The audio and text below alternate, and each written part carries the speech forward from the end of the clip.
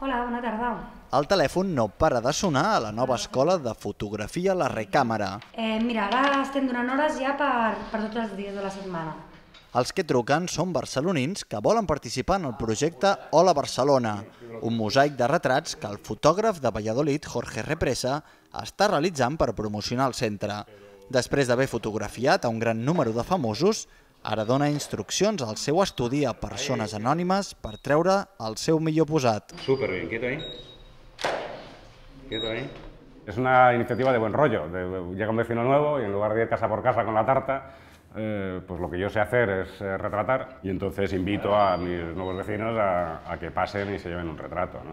Como proyecto artístico para mí está siendo muy interesante porque digamos es aplicar todos los recursos y la experiencia que he desarrollado fotografiando famosos en personajes anónimos pero tratándolos de la misma manera, fortaleciéndolos, eh, sacándolos muy atractivos, eh, reforzándolos y, y el resultado está siendo muy bonito. I d'aquests més de 200 retrats a barcelonins, algun denominador comú? Sí, que viene mogollón de gente con bambas.